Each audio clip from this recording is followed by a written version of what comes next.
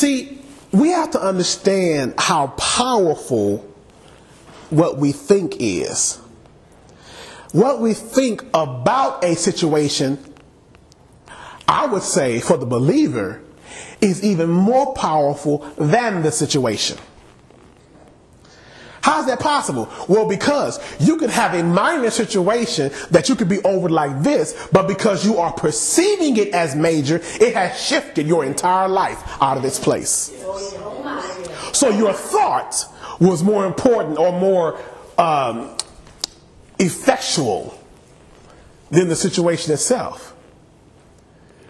Or the situation can be huge, but because in your mind it's small, faith was activated and the huge situation was taken care of. So it's what's going on up here. So we really have, so, that's why the song is so powerful that says he's the savior of my soul. See, we got it wrong when we went around saying the Lord and saved my soul. He saved my soul, y'all. No, baby. He's saving your soul. But but that's a process and he's not done just yet. He saved your spirit, but he is saving your thinking. He is saving your perceptions, your thought patterns, your mind, your emotions. He's he's he's in a process, watch this, of transforming you by the renewing of your mind. If I, if if my soul, if my mind got saved at the altar, I wouldn't need it renewed. But we need to have a change of mind. so the, the, the problem with this matter of perception is that from the moment that we were born, we have been trained to exist in this world according to this world. So as a child begins to understand that what he see he or she sees are actually physical objects that it can come into contact with, then it begins to touch the face of mama or begins to touch the furniture and begin to pull up on the furniture to stand up. It begins to realize through touch that it can interact with the world. All of the senses are means of interacting with the world, right? And we learn that from the moment that we're born. Then we get born again and we realize, well, I'll be, there's a whole nother world out there. Oh, yeah. Right? We have the physical, but then we also have the spiritual. We talked enough about this to know that the spiritual is higher above the physical. It is a higher plane of existence. It is the super on top of the natural. Right? The problem, though, is that oh, we talk about the power of perception. Even once we get born again and, and really tap into this other world, how we relate to that other world is still not the way God would have us relate to it. So we found out it exists, but then we don't actually operate in it the proper way. So here is how we live. We live for what I'll call from earth to heaven. I exist here, I relate here, I deal here, and then when I get something here that I need a little help with, I go there to get my help to fix what's here. God, that bill needs to be paid. I don't want to lose my car, I don't want to lose my house. It needs to be paid, Jesus. That was a here thing. I took the here thing there to get some help with the here thing. Right? Now, God is merciful and kind. He's loving. He's a provider. And He helped us with the here thing. That's still not how God intended for you to operate between heaven and earth. So the problem is that we have been operating from earth to heaven. Where you operate from, that's what you call your base. Your base of operations. But the word base also means foundation. Mm-hmm. It's your grounding point. It's the place where you are centered and it is your focal point. It's the place from which everything else flows. If you are based and grounded and settled on this plane, you've already messed up. Oh, oh, because when you got born again, notice what it says born again. Because the first birth that grounded you here is what caused all the mess you're dealing with now. That means when you were born again, you were born, what the scripture said, from above of the Spirit. Which means now your his intention for you is to be grounded there.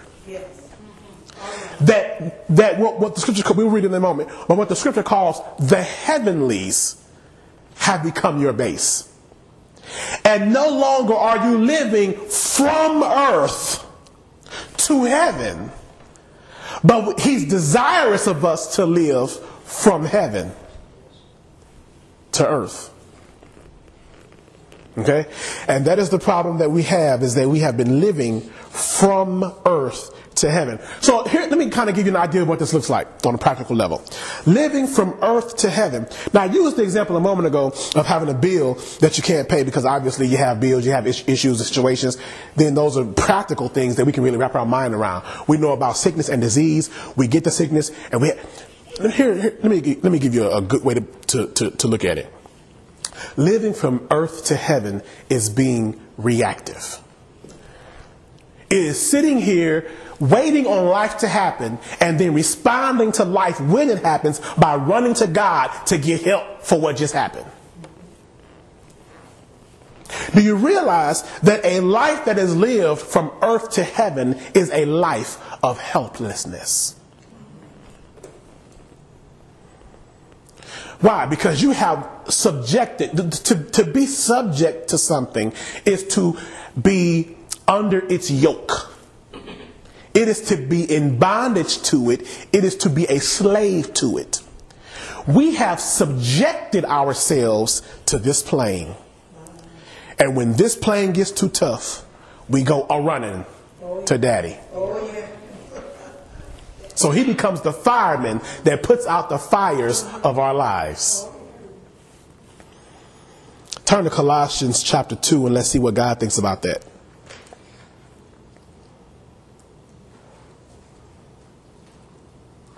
Isn't it sad that our prayer lives are characterized primarily by prayers of petition? Prayers of petition you can perceive as rescue me. We're calling out for rescue rather than prayers of thanksgiving, prayers of thanks and worship, prayers of communion. God, I'm just drawing closer to you. I'm getting to know you. What parent wants to only hear from their child when the child needs something? I never hear from you unless you're asking for help. No, I want to know you. I want to know this man, this fool that you have turned into that I, that I know I didn't raise. Colossians, Colossians chapter 2. I believe I'll turn there with you. Colossians 2, if you're there, say there. Excellent. Verse 20. Reading from the New American Standard, as always, Colossians chapter 2, verse 20. And it says this If you have died with Christ. Now, this is supposed to be this is a rhetorical question or statement because he knows he's talking to Christians. And so the implication is you have died with him. Paul is saying, my point is you actually have died, but you're not living according to that. If you have died with Christ to the elementary, foundational, basic principles of this world, why, as if you were living in the world, do you still submit yourself? to decrees, to the laws and the principles of this plane. Why are you still submitting yourself? Another translation, I believe the King James said, why are you subjecting yourself? Why are you becoming subject? Why are you enslaved to these laws? I don't have to be enslaved to the law of profit and loss because I have a wellspring of prosperity that follows me everywhere I go.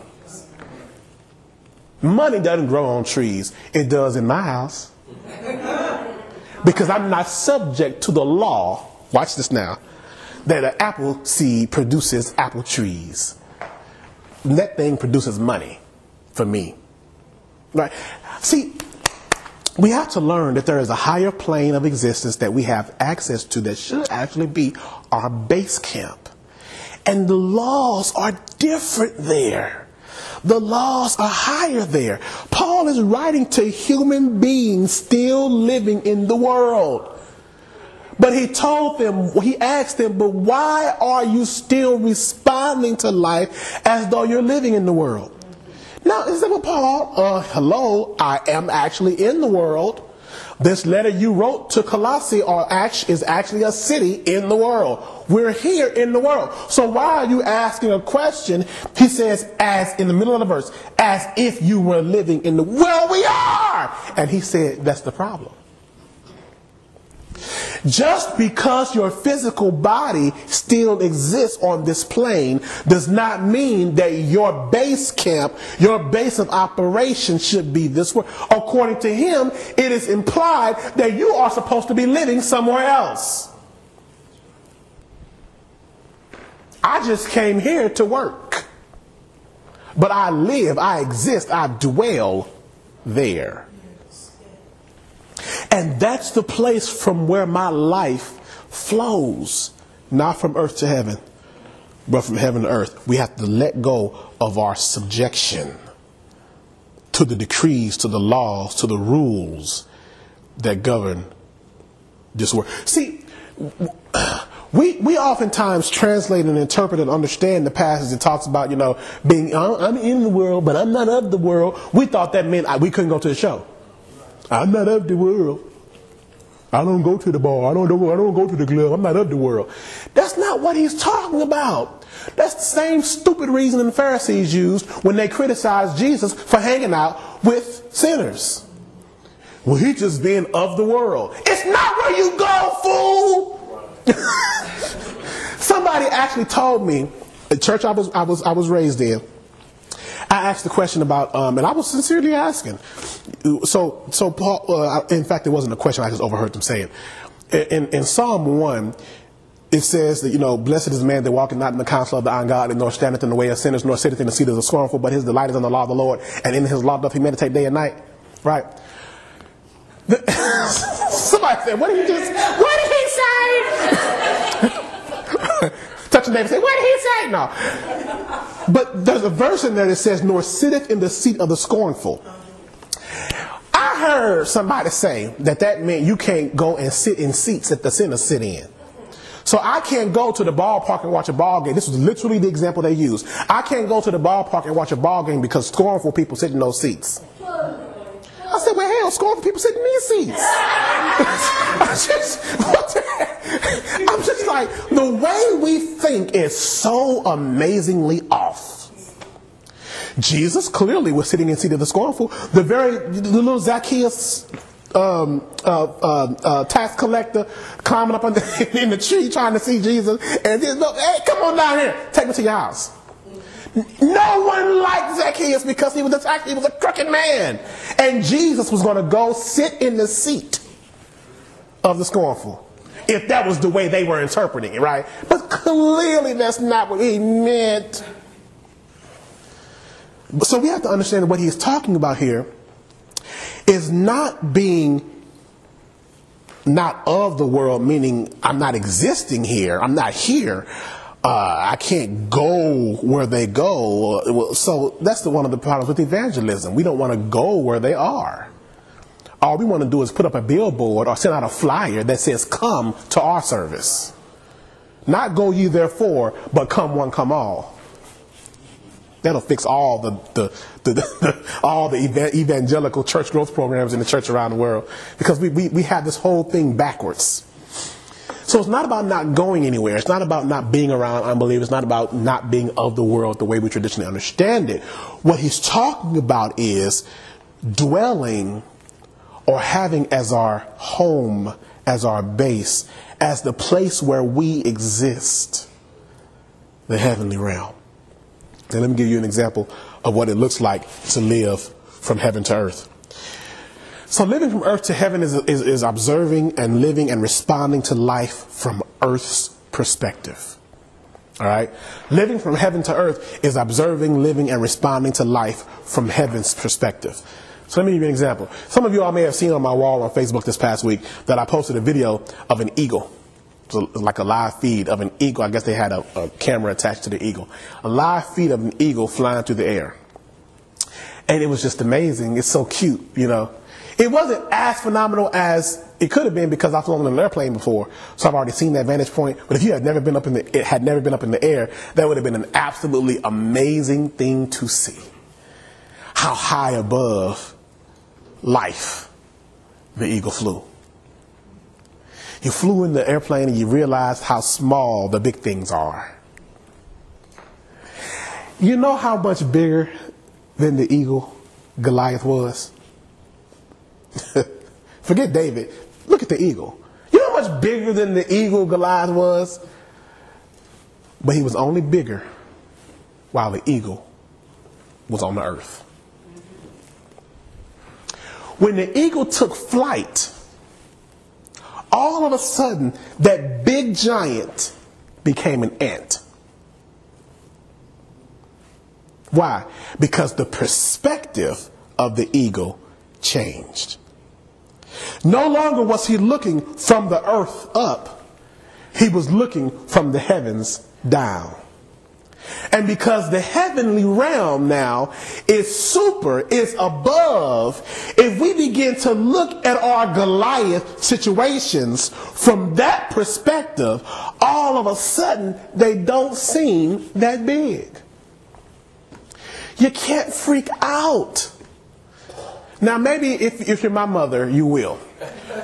But you can't freak out at the sight of one little ant. It's just an ant. And by the time I'm through with it, it's dead ant. Dead ant, dead ant, dead ant, dead ant, dead ant, dead ant, dead ant. Turn to Ephesians. You, you'll get it on the way home. That's all right. That's before some of y'all's time. Huh? That's, that's all right. Ephesians 1. I'm, I'm, I'm talking about changing our perspective because how we respond to an ant is different than how we respond to Goliath. But Goliath is an ant from heaven's perspective. The bill is an ant. The sickness is an ant. Do you all realize how, listen, when somebody, we, we, I really want us to start being mindful of this. When somebody, when we use, when we're giving out the prayer request and the word cancer comes up, there's always, just like I'm never, you know, it always happens. There's always a gasp. no! Why? Because we're looking from earth. But when we look from heaven, it's, oh, that again? Because it's no longer a big thing to us. Because our perspective has changed. See, that's a very practical way of understanding how perspective shifts our reactions.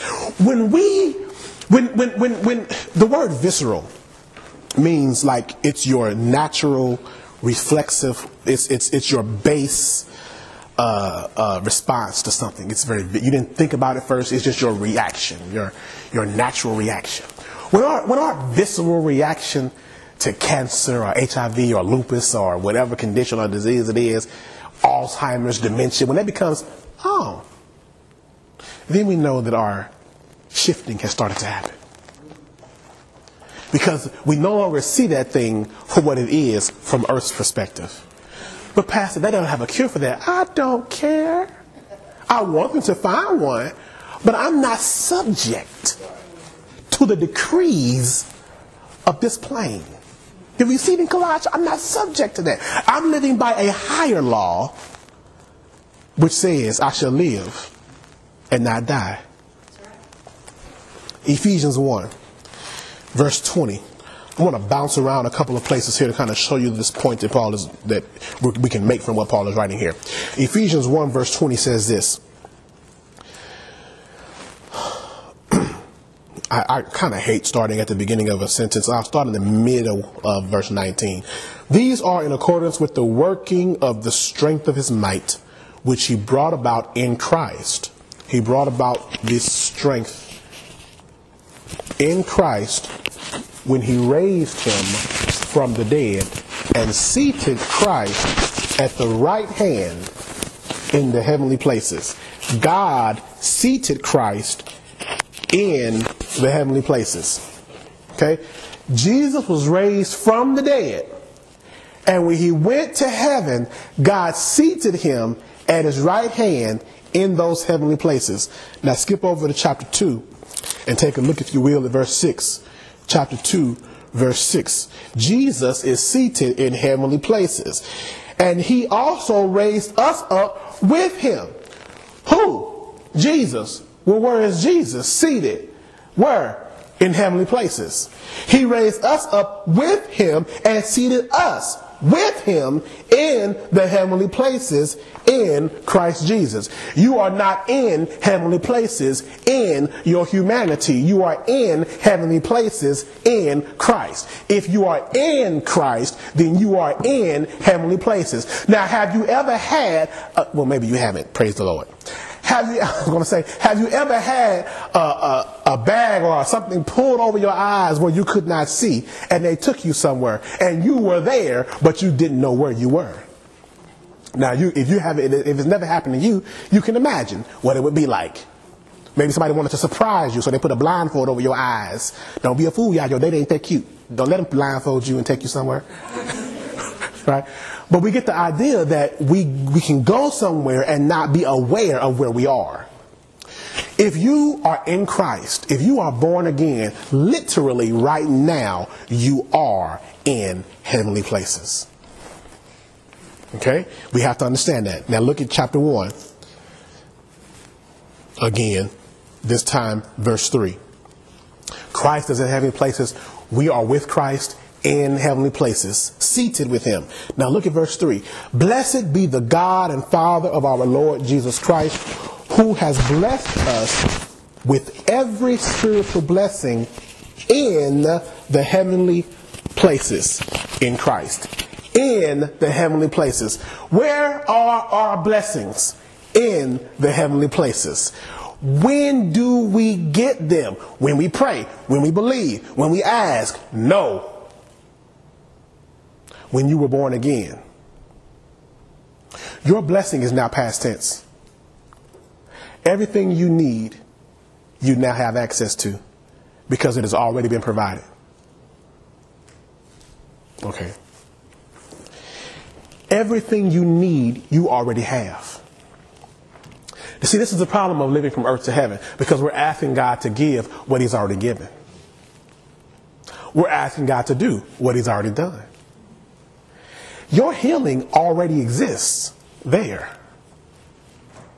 You exist there. So here's the thing. Every spiritual blessing, if God can bless you with it, He already has. Because every spiritual blessing. Now watch this. The exchange has already happened. Blessed be the God and Father of our Lord Jesus Christ, who has not who is blessing or who shall bless, but who has blessed, past tense, us with every spiritual blessing. Those blessings, though, don't exist here, they exist there. Folk who exist here have a hard time accessing what exists there. And that is literally 95% of the church's, I'll call it lifestyle. We exist here. And when life happens, we run there and try to get help. All the time, let me rephrase that. Really, we don't even run there. We just pick up the phone and call. Call him up. Don't call him. Be where he is. See, while we're calling him and asking him to send it on down, he's saying, You're already up there, get it. See, not only is it, see, if you're up there, your blessing is up there, and your blessing has already been given to you. That means the responsibility then is no longer God's, It's yours. So when it doesn't happen, see, this is why church people get disillusioned and they get angry with God because they feel that God has failed them because they asked Him, they fasted, they prayed, they believed. God, why didn't it work? He said, Baby, I answered that before you even asked. But you were never taught how to tap into what you already have access to. Okay. There's nothing worse than dying of a disease that you had the cure to in your medicine cabinet.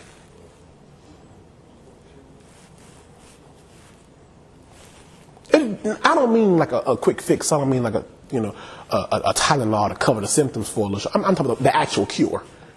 Is right there in your house, and you are in your house, and you never took the cure that you already had access to. But that's how Christians live. We literally are not aware of what we have access to. So many of y'all may have heard about how a person has sold a house, maybe the house was in their family for generations. They sold the house and the new owner was renovating the house, knocking down walls, and they found money in the house. Or they went up into the attic where you were too afraid to go, and they found that Rembrandt that was worth $100,000, or they found money up in the attic. Right? It was already there, and because the house was in your name, it was in your possession, and you didn't even know you had it. But having it is not enough. You got to know you have it. It's like losing your house to foreclosure when all the money is in the bank. You have a million dollars in your bank account. You have a debit card, and all you need to do is go get it. But you don't because you don't realize you got it. That's pathetic. But that is literally the Christian existence. We have, see, one of the things that, that, that, that, that I won't say bothers, but that vexes me is that we can hear stuff like this and then on a philosophical, theoretical level, we accept it. But we still are not actually living it. It hasn't really reached the bowels of our spirit to really tap and really have settled in us that everything we need, we have now. It's, but it's there. It's not here. So while you're up in the kitchen looking under the sink for the cure, dying, trying to find it, it's right there in the medicine cabinet. Now watch this. It's where it's supposed to be. The medicine cabinet. But you haven't went to get it. And that's what's been happening to the church. All right? We right now have everything we need, but it exists not on this plane, but in the heavenlies. Now, here's what we learn we already have provision. A deficit in our lives is not a matter of provision. Okay? a deficit in our lives, whether it's physical, whether it's financial, whether it's emotional, a deficit in our lives is not a matter of provision because we already have it. Okay? It's not just available, it is actually in your possession. Now, if provision isn't the problem, then what is? Clearly, the question is twofold. Number one, where is it? Now we know it's there. The second question is, how do I get it? The question itself is flawed. You already have it. See, when you're asking the wrong questions, you can't get the right answer. I just spent 30 minutes telling you you had it and you still ask, how do I get it? Pastor, I didn't ask that. You asked that rhetorically up there. But I heard your spirit. how do I get it, Pastor? I heard what you're saying. That's exciting stuff. But how do I get it? It's the wrong question. You already have it. Here's the question How do I shift it? From there to here? See, now that's the right question. All right, now, here's the problem. We have to learn how to exist there, where our stuff is. The reason that it's difficult to do that is because you can't call a home base a place you never go. If you, if you spend most of your waking moments on this plane, then that answers the question of why you haven't learned how to access what you already have. We have a wonderful, rich time of worship and praise when the saints come together. But if you have not learned, I had such a good time in the presence of the Lord. I'm glad. But how much time did you spend in his presence at home? We take nothing away from the power of the corporate thing, but we're not uh, we're not having church all day long. I would try and you wouldn't be here. I can't get y'all to come on Sunday morning. so we have to make existing. See, David said, I will dwell in the house of the Lord all the days of my life.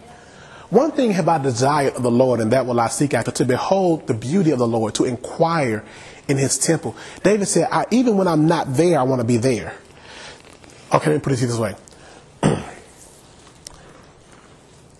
the physical church is but a shadow or a copy of the, of the presence of God.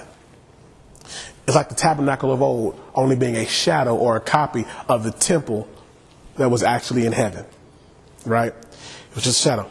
Now, we can't expect the power of the Spirit to exist in its full expression in a copy or shadow.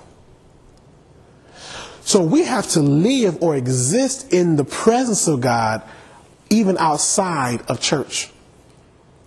Where the television has been shut off. You know, but that's what's, what's sad. This particular, talking about how to get in the spirit and how to, how to dwell there, I've been telling you this for I don't know how long, in, but we were talking about different subjects because there are so many different benefits that come with being in the presence of God. I was talking about how do you begin to see in the spirit. Right? Talking about you have to use your imagination, you have to activate the eyes of your imagination. You have to begin to imagine and to and to think, to contemplate in your mind. You have to tap into worship and into the reflection of the scriptures and to uh, uh, fasting and to prayer and to meditation, which is, of course, again, the, the thinking, the revolving around. You, we've heard this stuff, but we still have allowed life to distract us from living there. I would like to think that getting it now from a different angle will help us to realize the power of it. But the truth is, until we have gotten enough of living here, there isn't a sermon in the world that's going to fix it for you. We have to get fed up with the limited existence. We have to get fed up with subjecting ourselves to these rules and these laws and these decrees when we are supposed to be better than that. It's like you are a king living as a pauper in a foreign land because you won't go back to your own land and be a king as you were born to be. Why? Because we've been there so long that that is what is comfortable. That is what is natural. That is what we know. And at some point, there has to be a breaking in our minds and in our thinking that we just can't. I know we say, I can't take this anymore. You don't have to. But the answer is not having an emotional breakdown, it's breaking up.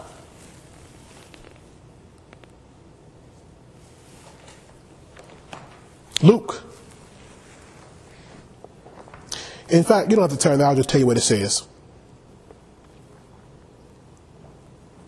Um, Luke 17 21 says that the kingdom of God is within us.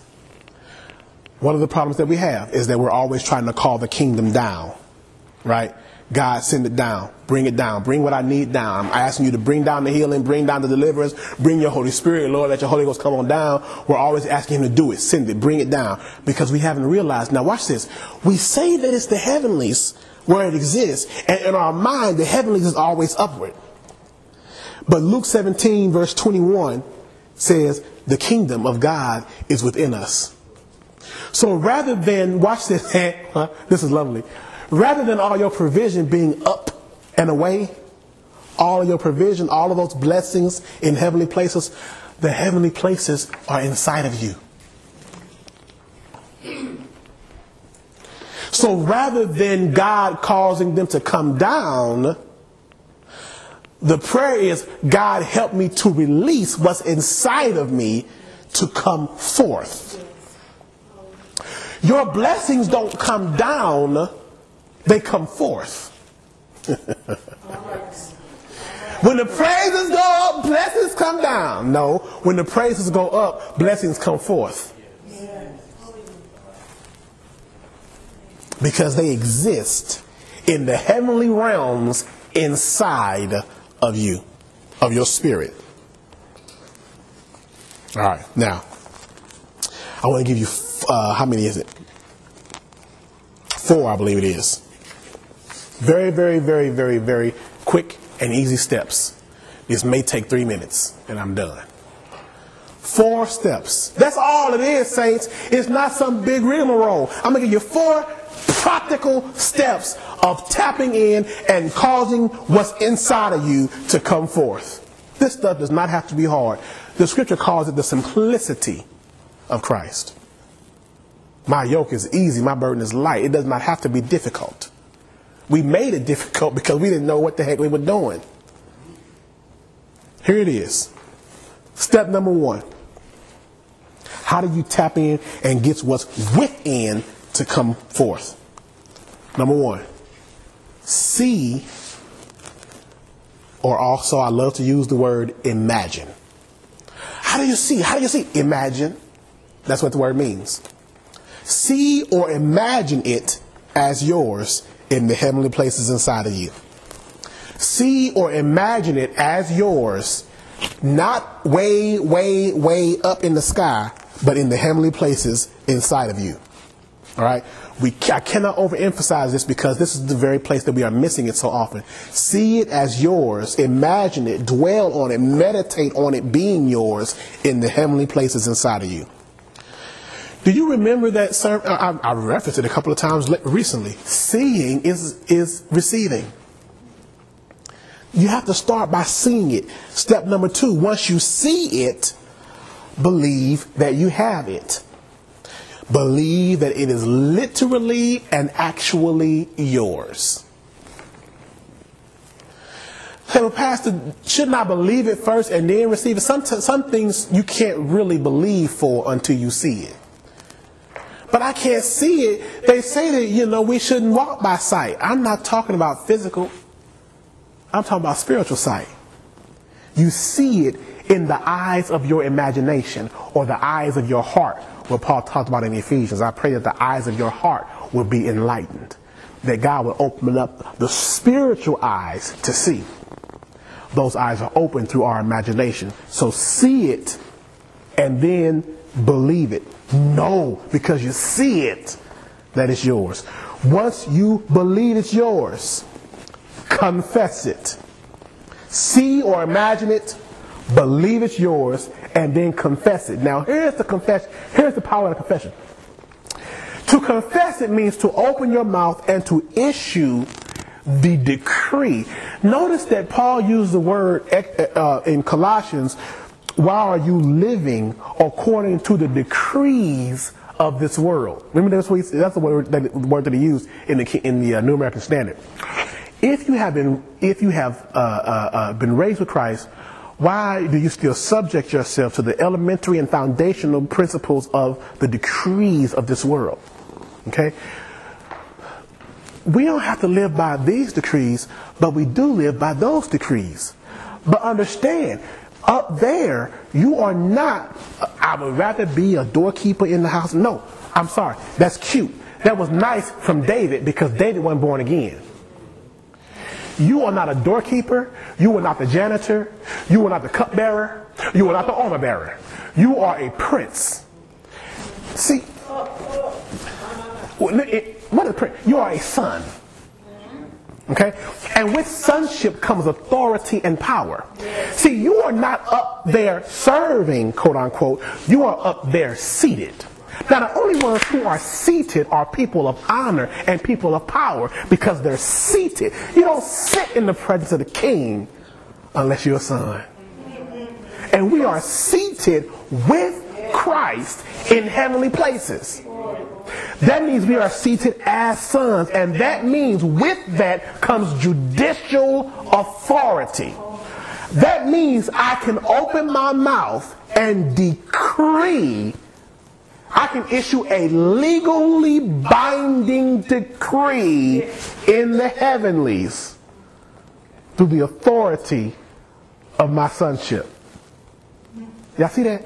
But see, so here's the problem.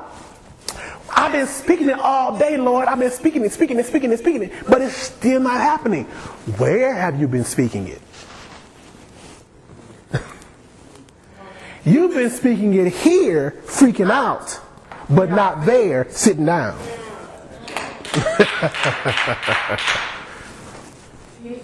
In your mind, listen, that means if you have to sit down and imagine yourself in the throne room of high. Remember, Jesus said, baby, don't you commit adultery up here because you committed it up here. It happened. What's up here is real. We told our children it wasn't. It's real in the spiritual realm. Imagine yourself seated in a place of honor.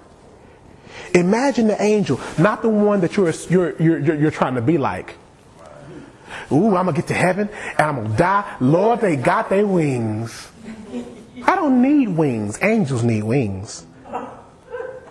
I can be right where I need to be in an instant because I'm a son. I get translated from one place to another. I don't need, who needs wings? See, we're trying to be lower. What is man that thou art mindful of him, or the Son of Man that thou visitest him? Thou hast made him a little lower than what? Nobody knows that verse? Angels. That's what it says. Thou hast made him. But Pastor, you just said the angels are lower than us. That's right. I did. You know why I did? Because your translation is wrong. The word angels in the King James, in that verse, Psalm 8, is Elohim. we were not made lower than angels, we were made a little lower than God. And some of the newer translations actually do say, You have made us a little lower than God. Because that's what the actual word is in the Hebrew, Elohim. But we're so connected to the King James Version that we think that angels are of a higher order than humans. If you are born again, angels are sent to minister. The scripture says that they minister to those who are the heirs of salvation. How can they, to minister means to serve. How can they serve us if they're higher than us? So angels hearken, they wait for the command. The scripture says they hearken unto the voice of his word. They're waiting for a decree to go forth. But we're not issuing the decrees, y'all.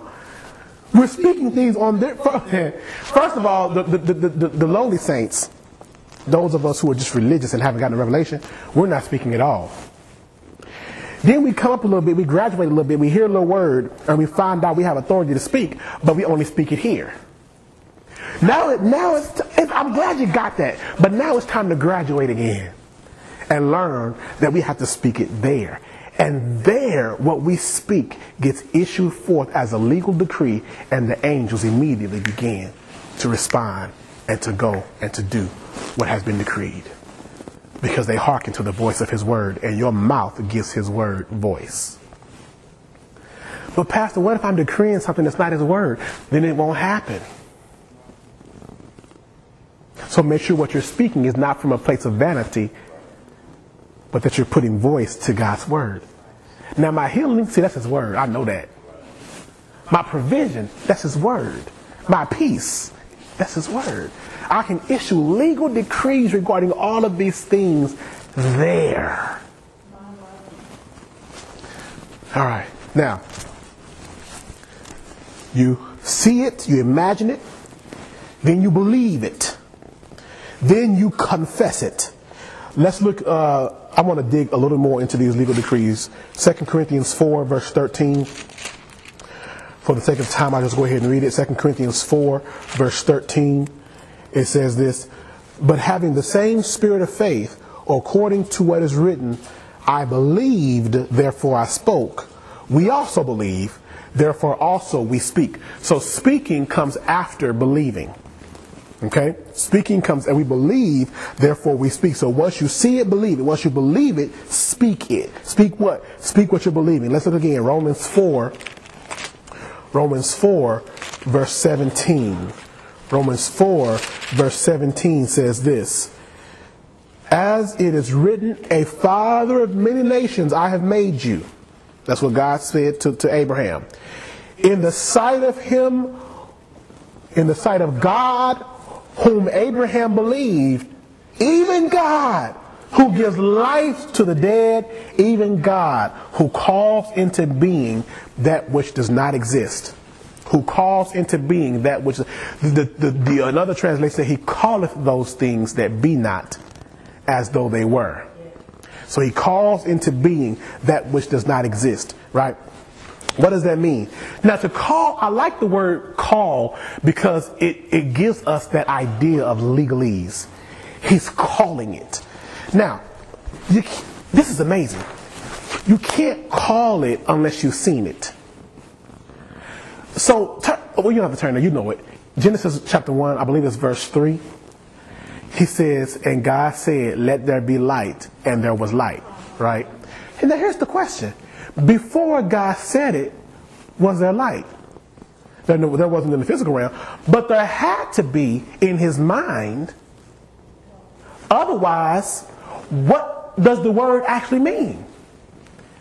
Unless light already existed here, why would he even say, let there be light? There's no such thing as light. light doesn't exist yet. So to say, let there be light, what are you talking about, God? But it already did exist here. Why did it exist here? Because he already saw it. He saw it here, he believed it, he knew it, and then he spoke it. And the speaking of it was a decree, a calling forth. He spoke it, watch it, he spoke it from his mind into reality the legal decree of what was already here. See, it's the same exact process that I'm giving you now that God used to create the world. Okay? See it or imagine it, believe it, confess it. The legal uh, decree, it's the language of authority calling for decree. Now, the fourth and final is there are two words I want to give you for this fourth one. The first word is this And God said, Let there be light, and there was light. Watch this. And God saw the light, that it was good. That's verse 4. So Genesis 1, 3, and 4. And God saw the light, that it was good. Okay? That means after he said it, he saw it. But, Pastor, if we back up, you told us he already saw it. Yeah, he only saw it because he saw it. There are two C's. You see, you believe, you confess, and then you see. You see in the eyes of your imagination, in your spirit, you see it, you believe it because you saw it. Then you issue forth the legal decree from the heavenlies, and then you'll see it. But now here's that thing about seeing it. Another word I want to give you for that is receive. Receive. Now we talked about the fact that, that, that sometimes getting isn't a, isn't, is not a matter of God giving. He's already given, we just haven't received.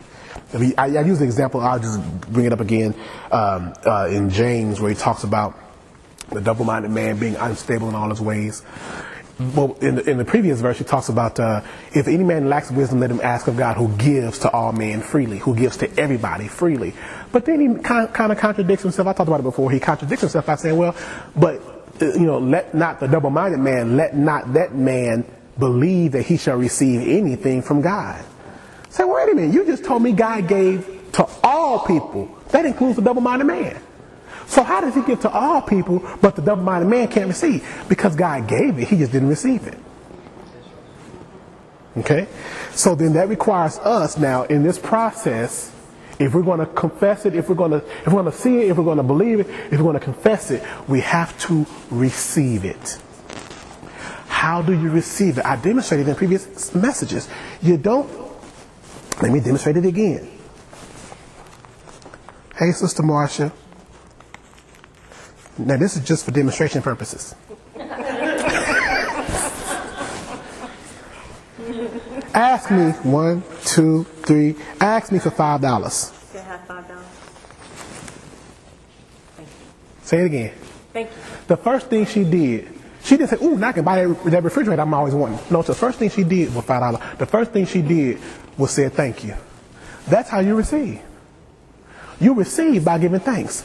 If you haven't given thanks yet, then either you are a very selfish and ungrateful Christian, or you haven't received it yet.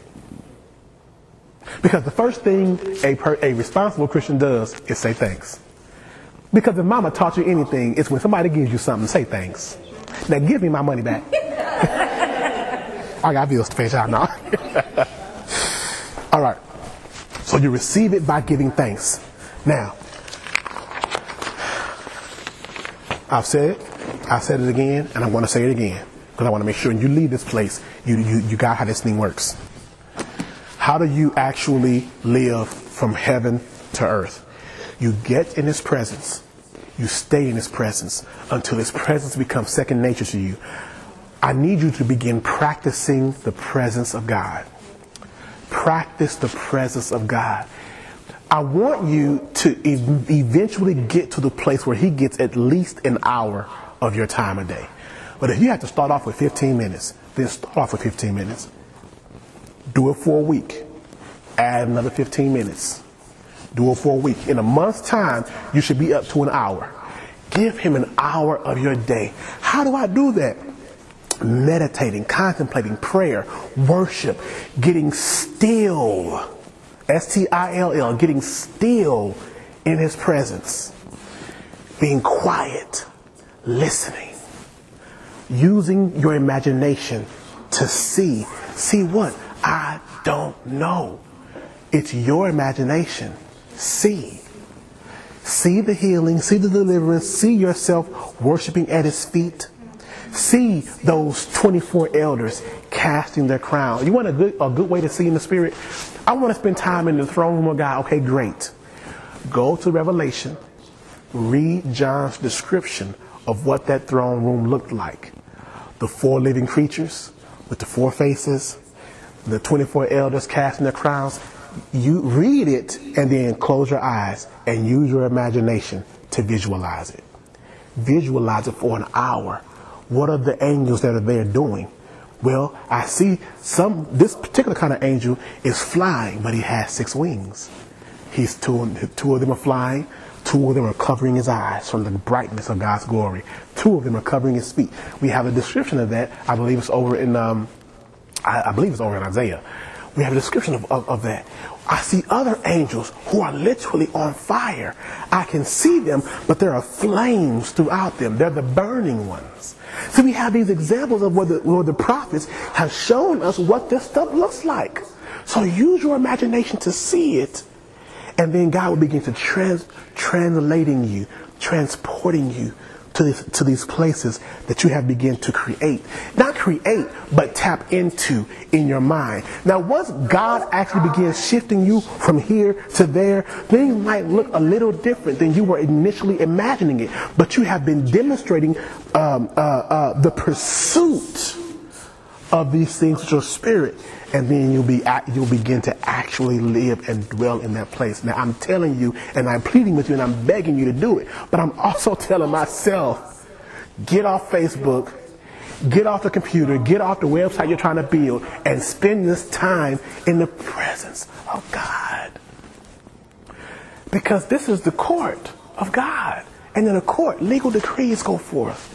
And we have a right. I'm going to do a whole uh, uh, lesson on these legal decrees in the courtroom of God that we have a right to issue these decrees, but they have to be issued from the heavenlies. And this is how you get there.